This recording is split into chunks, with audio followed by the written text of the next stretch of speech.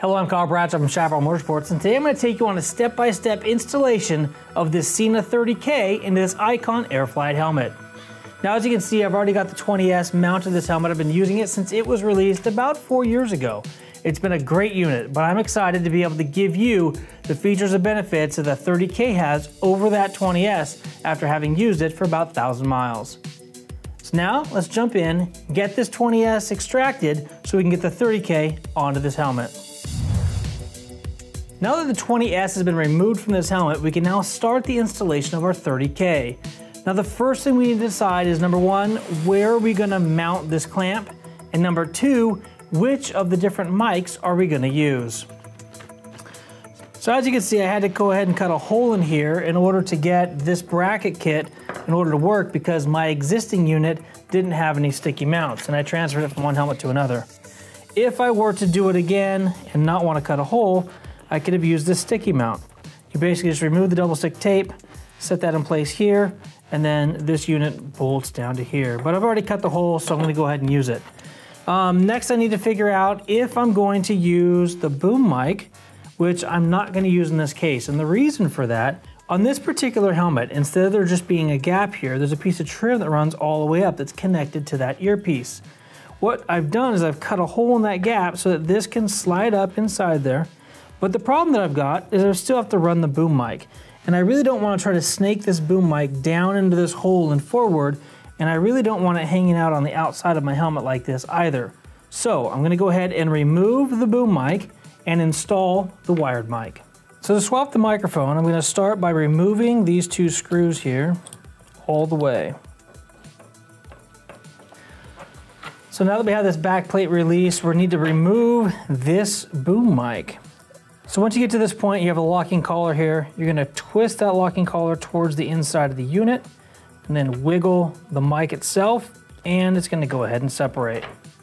Now you get to choose one of the other two mics that you'd like to install. In this case, I'm gonna go with the wired mic due to my personal preference and setup of my helmet. We're gonna go ahead and slide that in place. And once that's in place, we're gonna rotate this locking collar back around.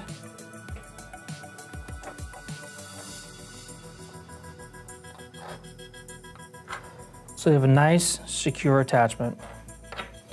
Then I'm gonna pull this guy back up and reinstall our screws. Now we're only gonna put just a couple turns on these screws as we're gonna still have to run this into the helmet.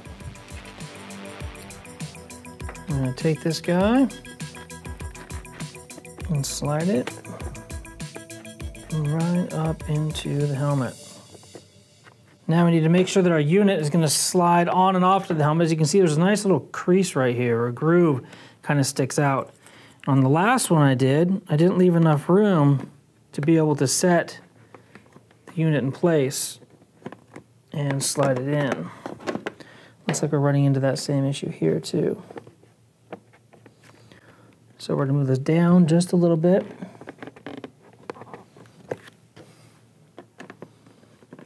Want to make sure that we're able to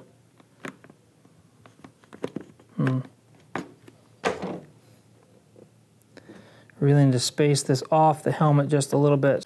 So due to that clearance issue that I had, I'm going to go ahead and take another piece of rubber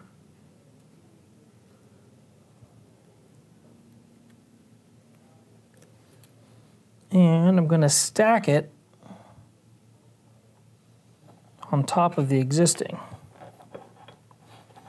What that's going to do is going to make this sit a little further out so I get a good slide on that main unit.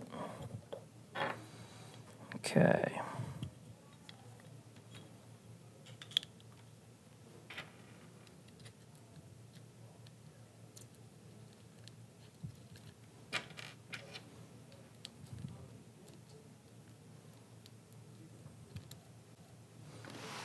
Okay, bring the helmet back into play. Go ahead and slide.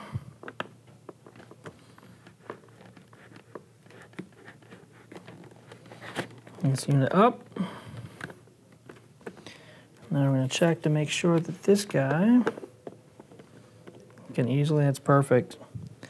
So it's going to sit a little further away from the helmet than I would originally want, but due to the height of this unit, the dramatic lip right here, that's the best way to get this mounted onto this particular helmet.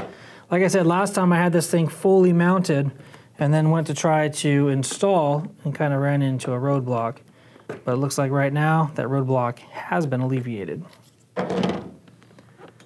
Okay, now it's a matter of running our wires down through the helmet.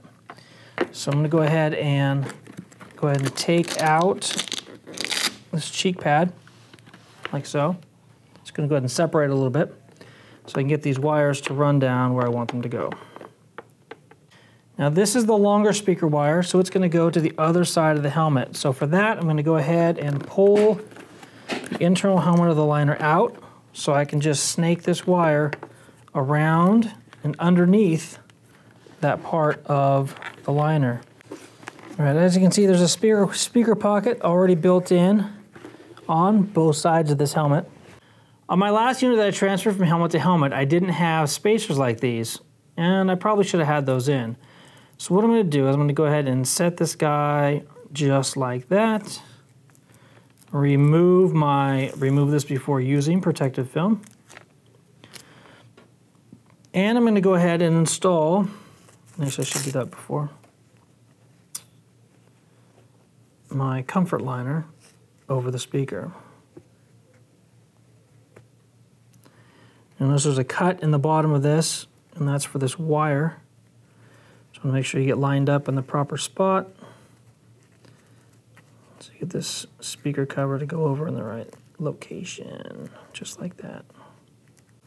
Okay, now that's pulled over. I'm gonna go ahead and take this fuzzy piece and fix my speaker to that. So they sit a little bit further out from the wall of the helmet. I'm gonna go ahead and turn this guy around and set it in place.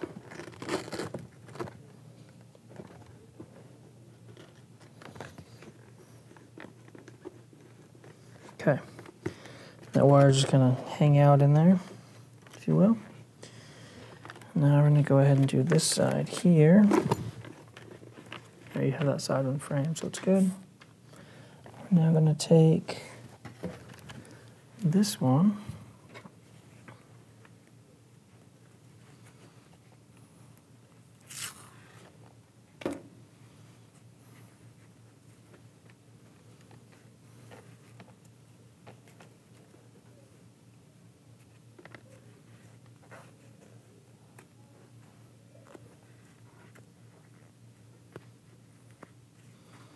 And pull that guy up and over.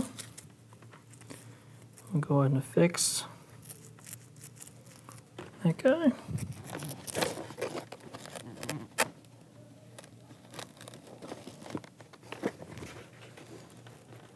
Plug in just like that. Now with the speakers in, we're going to go ahead and put our comfort liner back into place.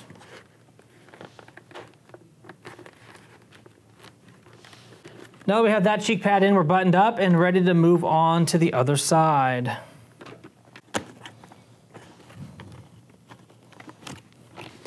Now removing this chin curtain is not necessary typically, but I want you guys to be able to see what I'm doing up front here.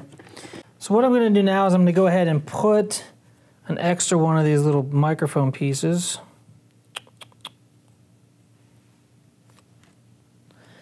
up here into the front of the helmet where I'm going to want this microphone to be able to have some adhesion. All right, I'm now going to take this wired mic and set it in place where I think that best spot's going to be.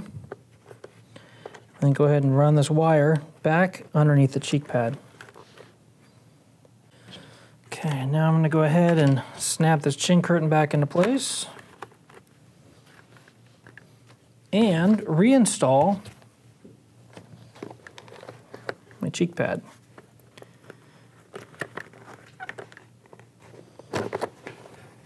All right. Now that we've got that cheek pad installed, we're going to go ahead and just kind of finalize the positioning of our wiring here. Make sure that this headset piece is in the place that we want it. Again, make sure that we can set our headset down in, have that clicking noise so we know that it locks into place. And that is gonna be a good setup. Now I'm just gonna flip this thing over and tighten up these screws.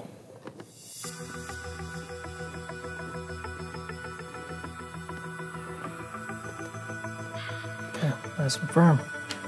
Nice work.